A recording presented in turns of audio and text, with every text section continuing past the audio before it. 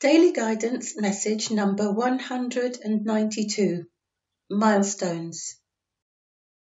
Always remember to congratulate yourself on a job well done and notice each small triumph along the way as you journey towards success. If you're always driving yourself and never stopping to notice the wonderful small things you are achieving every day, when true success comes, you may not notice it either. Life is not a race, it's a journey in which small steps create great achievements. Celebrate each step and congratulate yourself on every milestone.